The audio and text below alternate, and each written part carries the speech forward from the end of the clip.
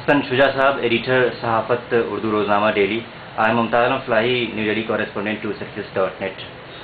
صحافت ایک leading news paper ہے، اس وقت ہندوستان میں اور تین بڑے شہروں سے نکلتا ہے، دہلی، لکھنؤ اور ممبئی سے۔ آپ دہلی ایڈیشن کے ایڈیٹر ہیں۔ حسن شاہ صاحب، مجھے بتائیے کہ آپ کی نظر میں ہندوستان میں جو مسلم قوم ہے، اس کے تین بڑے مسائل کیا ہیں؟ دیکھیے، مسلمان کے جو میرے اعتبار سے سب سے بڑا مسائل، سب سے بڑا مسئلہ ہے، وہ ہے ایجوکیشن کا۔ سب سے پہلا جو ہمارا مسئلہ ہے، جو ہماری پریشانی ہے، وہ ہے ایجوکیشن کی۔ ایجوکیشنلی ہم لوگ آج بھی بہت پچھڑے ہوئے ہیں۔ اور حالات یہ ہیں کہ اگر آپ ان شہروں میں اور ان قصبوں میں یا ان ٹاؤنس میں ہندوستان کے وزٹ کریں، خاص طور سے میں ناردرن انڈیا کی بات کروں گا، کیونکہ میں میرا ٹچ بھی اسی جگہ سے زیادہ ہے جہاں ہمارے اخبار کا ناردرن انڈیا میں وہ ہے۔ کہ آپ کسی بڑے شہر میں چلے جائیے، کسی بڑے ٹاؤن میں چلے جائیے، قصبے میں چلے جائیے، تو کوئی بھی ہم یہاں پر ایسا آئیڈینٹیفائی نہیں کر سکتے ویسٹرن یو پی میں یا دہلی میں، کوئی ضلع، کوئی خاص مخصوص ایریا یا علاقہ جہاں پر ہم یہ کہیں کہ ہمارے بچے، ہمارے لوگ، ہمارے مسلمان بھائی جو ہیں، وہ ویل ایجوکیٹڈ ہیں، بڑی تعداد میں جو ہے وہ ایجوکیشن حاصل کر اور ایجوکیشن جو ہے وہ سب سے بڑا مسئلہ ہے اور خاص طور سے ہمارے اس خطے میں جو ہے وہ ہم ایجوکیشنلی بہت بیکورڈ ہیں۔ جی۔ اور دوسرا ہمارا جو سب سے بڑا مسئلہ ہے میرے حساب سے وہ امپلائمنٹ کا ہے۔ کہ روزگار کے اعتبار سے بھی جہاں سرکاری نوکریوں کا سوال ہو۔ اور اس کی الٹیمیٹلی وجہ وہی آ جاتی ہے کہ جب آپ ایجوکیشنلی بیکورڈ ہیں اور ایجوکیشنلی آپ جو ہیں وہ ساؤنڈ نہیں ہیں کہ اب ہمارے یہاں سب سے بڑی بد نصیبی یہ ہوتی ہے کہ میں دیکھتا ہوں کہ اگر ہمارے پاس پیسہ بھی ہے دولت بھی ہے میرا کوئی لڑکی لکڑی کا کارخانہ ہے تو میری کوشش یہ ہوتی ہے یا میرے بچے کی بھی یہ کوشش ہوتی ہے کہ وہ بس کسی طور صورت آٹھواں دسواں پاس کر لے جماعت پاس کر لے اور وہ کارخانے میں میرے ساتھ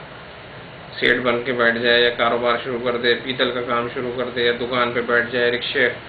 ٹھیک کرنے کا کام کرنے لگے گاڑی ٹھیک کرنے کا مستری بن جائے بہت اچھا کاریگر بن جائے۔ تو امپلائمنٹ کی بھی یہی ایک وجہ ہے کہ جب آپ پڑھے لکھے نہیں ہوں گے تو امپلائمنٹ میں ہی پرابلم ہوگی۔ پلس یہ ایک بہت بڑی پریشانی ہے کہ جہاں ہم لوگ فائنینشلی ساؤنڈ بھی ہیں، بہت اچھا ہمارا کہیں کاروبار بھی ہے، کارخانہ بھی ہے، کوئی فیکٹری بھی لگی ہوئی ہے انڈسٹری بھی لگی ہوئی ہے۔ تو نہ میری یہ خواہش ہوتی ہے کہ میرا بچہ جو ہے وہ اس کو اور آگے مطلب ایک ویژن جس کو کہتے ہیں کہ اس کا ایک ویژن ہو کہ وہ ایم بی اے کر کے آئے یا آئی ایم سے کرے یا کہیں باہر سے پڑھ کے آئے یا انجینئرنگ کرے اور اس کارخانے کو، اس ادارے کو، اس آرگنائزیشن کو بڑے پیمانے پہ بڑھا سکے حسن شاہ صاحب مسلم قوم جو لگ بھگ بیس کروڑ ہے ہندوستان میں ایجوکیشنلی اور فائنینشلی بہت ویک ہے اور لیک آف ویژن بھی ہے اس کے اندر۔ بیسک ساری وجہ ساری وجہ جو جو ہر مسئلے کی ہماری جڑ ہے وہ ایجوکیشن ہے میرے حساب سے۔ جی تو آپ کی نظر میں اردو میڈیا کا کیا رول ہو سکتا ہے ان مسائل کے حل میں؟ کہ دیکھیے ہم لوگوں کا تو صرف یہی ہو سکتا ہے کہ ہم اپنے قلم سے اپنے اخبار کے ذریعے اپنے اس کے ذریعے اپنے لوگوں کو بھی بیدار کریں، ان کو بھی جگائیں کہ بھائی، اب وقت وہ نہیں ہے، اب آپ کو آگے آنا پڑے گا مین اسٹریم میں آنا پڑے گا ایجوکیشنلی ساؤنڈ ہونا پڑے گا۔ کمپیوٹر کا دور ہے ٹیکنالوجی کا دور ہے، اور آپ دیکھیں تو ہم لوگ ٹیکنیکلی بہت ساؤنڈ ہوتے ہیں مسلمان عام طور پہ۔ لیکن بیچارے وہ کیا ہے کہ وہ کار کا ایک اچھا میکینک بن کے رہ جاتا ہے اے سی کا اچھا میکینک بن کے رہ جاتا ہے ٹی وی کا۔ لیکن وہی اگر ٹیکنوکریٹ ہو اور کہیں آئی آئی ٹی سے وہ لڑکا پڑھے یا کسی اچھے کالج سے اچھے انسٹیٹیوٹ سے انجینئرنگ کرے میں کہتا ہوں ڈپلوما بھی کر لے تو بھی اس کی جو ہے وہ ایفیشنسی کئی ٹائمز کئی گنا بڑھ جائے گی۔ تو ہمارا ہمارا یہ ہے کہ ہم اس میں کوشش کرتے ہیں کہ لوگوں کو بھی بیدار کریں پلس حکومت میں بھی یہ میسج جائے پیغام جائے جو ہماری وزارتیں ہیں جو مسلمانوں سے ریلیٹڈ ہیں یا مسلمان وزیر ہیں یا مسلمان سیاستداں ہیں یا مسلمان بڑے بیوروکریٹس ہیں، تو کم سے کم وہ دھیان میں لائیں، نظر میں لائیں۔ اور صرف مسلمانوں کا ہی معاملہ نہیں ہے، بلکہ جہاں تک میں سمجھتا ہوں کہ وزیر اعظم بھی بھائی پوری منسٹری ایک بنا دی ہے، یو پی سرکار نے مائنورٹی منسٹری کے نام سے۔ تو ایسا تو نہیں ہے کہ پوری مائنورٹی افیئرس منسٹری میں اگر دو ہزار لوگ ہیں تو وہ سب مسلمان ہی ہیں، اس میں سبھی لوگ ہیں، لیکن کام مائنورٹی پر ہی ہو رہا ہے۔ بس میرا یہی اگلا سوال ہے کہ اردو میڈیا، حکومت اور مسلم قوم کے بیچ میں کڑی کے طور پہ مانا جاتا ہے۔ لیکن یہ یہ رول، کڑی کا رول اردو میڈیا کس حد تک نبھا پا رہا ہے؟ دیکھیے، اردو میڈیا کافی حد تک نبھا پا رہا ہے۔ بڑی تعداد میں ادھر ناردرن انڈیا میں اخبارات آئے ہیں، اچھے اخبارات آئے ہیں اردو کے، ورنہ آپ دیکھیں، اگر ماضی میں تو کہاں مطلب اردو کا کوئی سوائے قومی آواز کے اس کے یہاں اخبار نہیں ہوا کرتا تھا۔ آج آپ دیکھیے تو سب لوگ محنت کر رہے ہیں۔ ایک ہیلدی کمپٹیشن ہے آپس میں اور وہ چاہ مطلب بیسٹ سے بیسٹ جسے کہنا چاہیے، بہتر سے بہتر کرنا چاہ رہے ہیں کہ ہم ایسے مسائل اٹھائیں، ایسے معاملات سرکار کے سامنے لائیں، لوگوں کے سامنے لائیں، کہ جس سے کہ ہماری بھی ایک وجود اور اس کی اہمیت پتہ لگے اور عوام کا اور ہماری قوم کا ملت کا بھی کام ہو سکے۔ بالکل۔ حسن شاہ صاحب، جہاں تک انویسٹیگیٹو جرنلزم کا سوال ہے تو آپ کو کیوں لگتا ہے کہ کیوں اردو میں کوئی انڈین ایکسپریس نہیں ہے، کوئی تہلکہ نہیں ہے؟ دیکھیے دیکھیے اس میں کئی چیزیں ہیں۔ ایک تو، یہ آپ نے بلکہ میرا ہی اکثر میں سوال کہتا ہوں، جب ہم سرکاری اداروں میں کہیں جاتے ہیں، تو پرابلم ہماری کیا ہے کہ ہم لوگ کہیں نہ کہیں نیگلیکٹ تو کیے جا رہے ہیں۔ اور اگر ابھی آپ ان اداروں میں جائیے جو ادارے اخبارات کو فنڈنگ کرتے ہیں، سرکاری ادارے ہیں، جیسے ڈی جی وی پی ہے یا ریلوے ہے یہ تمام سارے پبلک سیکٹر انڈرٹیکنگس ہیں منسٹریز ہیں، تو ان کا قطعی بھی دھیان یہ نہیں ہے اور اس کی ایک بہت بڑی وجہ یہ ہے کہ جیسے مان لیجیے ڈی ای وی پی ہندوستان کا سب سے بڑا ادارہ ہے سرکاری جو اشتہارات ریلیز کرتا ہے، ان کو بیچاروں کو یہ نہیں پتا کہ اردو کا اچھا اخبار کون سا ہے اور برا اخبار کون سا ہے، بڑا اخبار کون سا ہے، چھوٹا اخبار کون سا ہے۔ ان کو بس یہ پتا ہے کہ ٹائمس آف انڈیا انگلش کا سب سے بڑا اخبار ہے، یا ہندوستان ٹائمس یا انڈین ایکسپریس یا ہندی کا دینک جاگرن، نو بھارت ٹائمس ہے، جو بھی اخبارات ہیں۔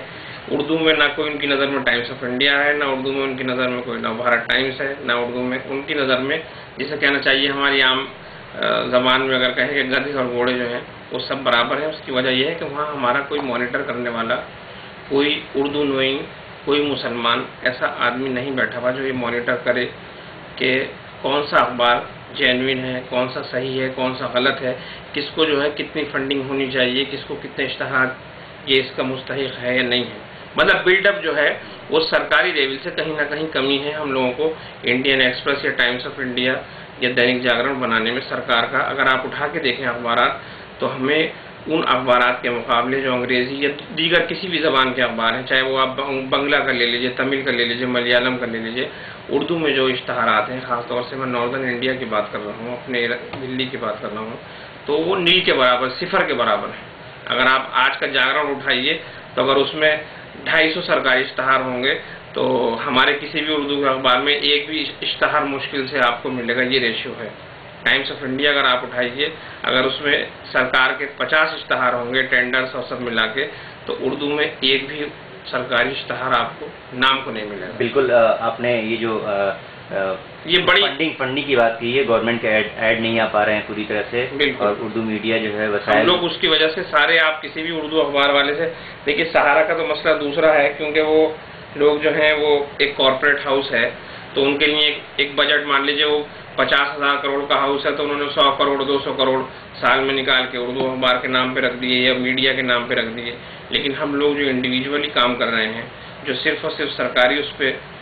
ڈپینڈ کر رہے ہیں، ہم لوگوں کو بڑی پریشانیوں کا، مشقتوں کا جواب اور اگر ملے ہوں گے اور ایڈران سے یا ملیں گے تو آپ کو پتہ لگے گا کہ کتنی مشکلات کا اور کتنی پریشانیوں کا ہم لوگ سامنا کر رہے ہیں بالکل فنڈنگ کے علاوہ کیا مین پاور کا بھی مسئلہ ہے اردو صحافت کے سامنے؟ کام کے لوگ نہیں مل پا رہے ہیں جو اسکلڈ ہوں صلاحیت والے ہوں۔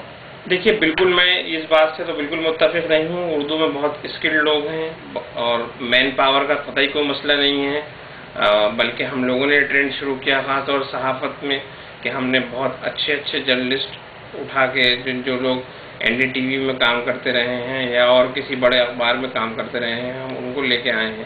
اور انہوں نے اگر ہندی میں اور انگریزی میں ہمیں خبر بنا کے دی ہے، تو اتنی ایڈوانس ٹیکنالوجی ہے کہ ہم نے اس کو ٹرانسلیٹ کیا اور اس کو پیش کیا اور اخبار میں لگایا، وہ کیا۔ وہ مین پاور کی تو کہیں کو، لیکن پرابلم کیا ہے کہ جب آپ کو اچھا آدمی چاہیے تو اس کو اچھے پیسے بھی دینے ہوں گے، جس میں ہم اور آپ بہت مطلب ہم اردو کے اخبارات بہت لکھے ان کو، ان کی منہ مانگی یا ان کے جو جس تنخواہ کو یا جس پیسے کو وہ جس کے مستحق ہیں، وہ جب ہم ان کو نہیں دے پاتے، تو ہم ان سے یہ کیسے توقع کر سکتے ہیں کہ وہ ٹائمس آف انڈیا یا انڈین ایکسپریس یا تہلکا جیسی خبریں ہمیں لا کے دیں؟